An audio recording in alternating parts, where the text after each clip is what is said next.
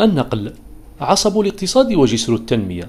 هذا المجال الحيوي بفضله يتم ضمان التبادل السلعي بين مختلف مناطق الوطن. وبما أن الدعم اللوجستي يتطور مع تطور التكنولوجيات الحديثة أسس بن عيسى مؤسسة رقمية لنقل السلع شارك بها في جناح المؤسسات الناشئة بمعرض الجزائر الدولي. بخطوات بسيطة يمكن إيجاد وسيلة نقل في أسرع وقت وبأقل جهد. الخطوة الأولى اللي هي التسجيل. غير يسجل أنا ندخل ك administrateur تاع ال compte نروح نحوس على التسجيلات اللي داروهم اخر 24 ساعة.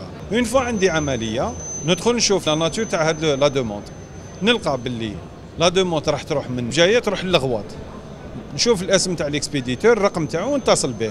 باش نأكد هذه الطلبية. ومن بعد واش ندير؟ نروح ن affecter له le transporteur. تلحق له هو notification transporteur فلاني. هو اللي راح يتكلف بالطلبية تاعك وخلاص. ومن بعد يتصلوا ببعض. رقمنة قطاع نقل البضائع. إجراء من شأنه توفير خدمات بأسعار تنافسية. أسعار يكون لها انعكاس مباشر على تخفيض تكلفة المنتوج. الهدف من الرقمنه تاع قطاع النقل هو اقتراح آه، فرص آه، تاع تاع نقل آه، بأسعار أفضل.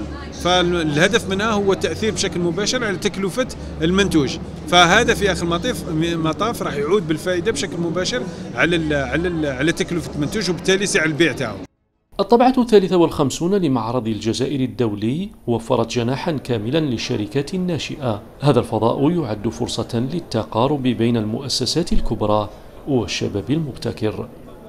أول مرة اللي آه، يخصص جناح آه، للشركات الناشئة والشركات الناشطة في التكنولوجيا على مستوى معرض الجزائر الدولي. تم تنظيم هذا الفضاء لكي يكون حقيقة يعبر عن الديناميكية اللي يشهدها اليوم نظام بيئي للشركات الناشئة في الجزائر. معرض الجزائر الدولي كان فرصة لاكتشاف عديد الشركات الناشئة المهتمة بمجال الرقمنة وتقديم الحلول لمختلف المؤسسات الاقتصادية. مع ما يتماشى والتوجه الجديد لتطوير الاقتصاد الوطني.